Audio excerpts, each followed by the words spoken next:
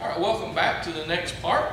Here we're going to look at uh, some worksheets about series and parallel circuits and run through those uh, examples quickly. Again, we ask that you answer the posted questions uh, on this video below. All right, correctly identify the type of circuit as series or parallel. So what I like to do is just draw my flow. And so this has got to flow through those wires in that direction. So there's only one flow or one current. That is a series. All right, and so here we have a battery and a couple of lights. Still only one flow, so it is a series. Now here, I know it may be difficult for you to see, but we can see that we have a flow through here. There's one flow. We also have a second flow, so that is parallel, okay? And this is our standard example over here. We got there's I1, I2, and I3. More than one path. Again, now we have found a parallel.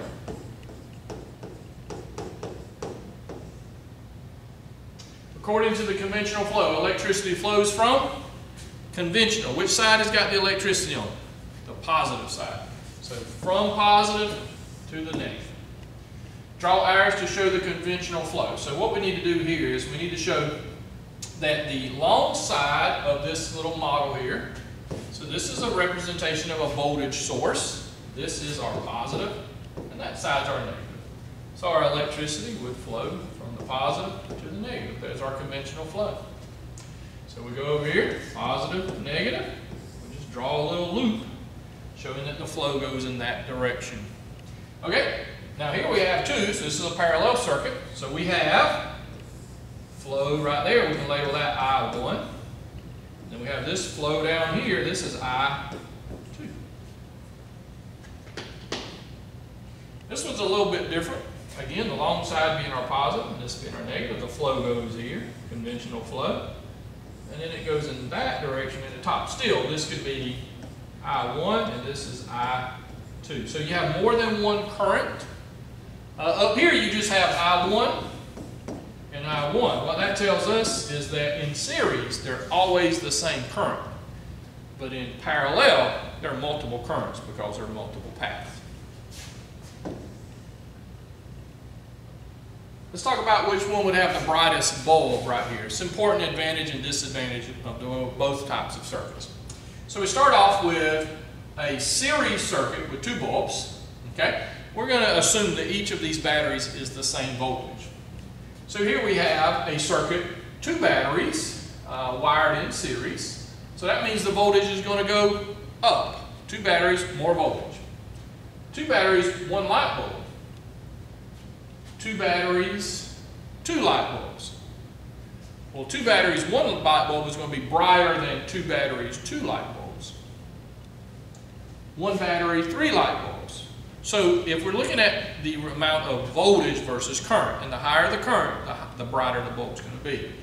So we got two light bulb, two excuse me, two batteries, one light bulb, brightest.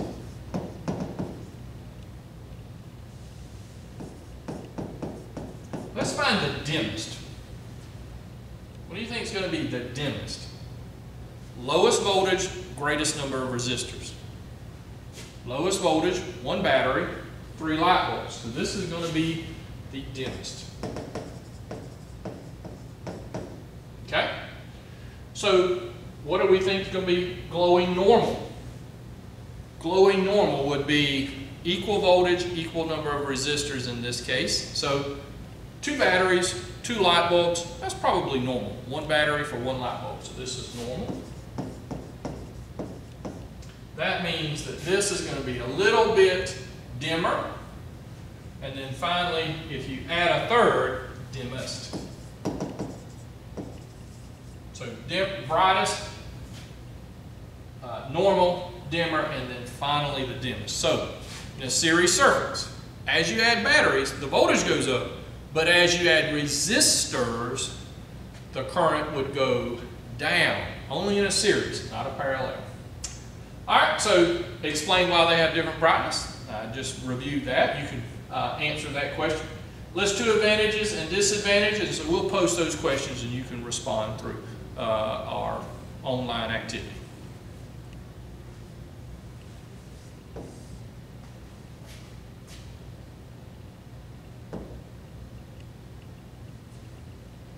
All right, identify the parallel circuit that would have the greatest amount of resistance.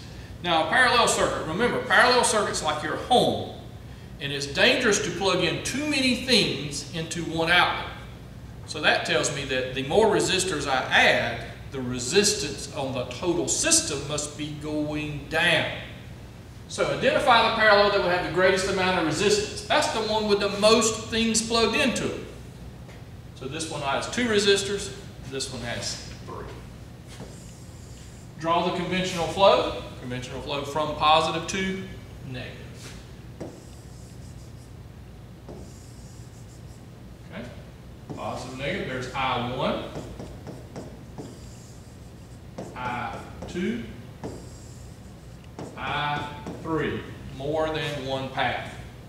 All right, so again, these questions you can work on in a parallel circuit as the number of resistors increases, the overall flow or current in a system increases.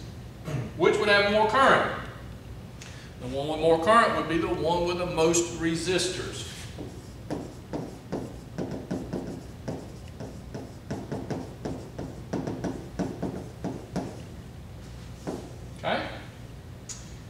One advantages of a parallel circuit is that the voltage is constant. If a battery in each diagram is 6 volt, what would the voltage be at each light bulb? Well, if the voltage is constant, and what did we say about your home?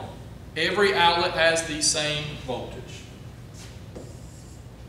List two advantages, disadvantages, and so you can work on that uh, through the online activity.